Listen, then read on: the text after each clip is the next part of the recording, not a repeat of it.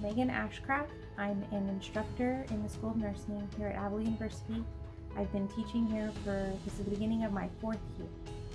Some of the things I think that are amazing about the School of Nursing here at Avila is that our students that just graduated in the last couple of years, our average NCLEX first time pass rate is 97% and that's really amazing.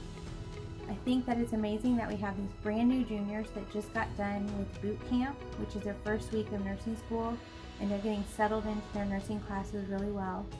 And then our seniors are out in all kinds of different clinical settings all over across the uh, Kansas City metro area. And I think it's really great that they're out there really trying hard to get their nursing skills down so they can be great nurses.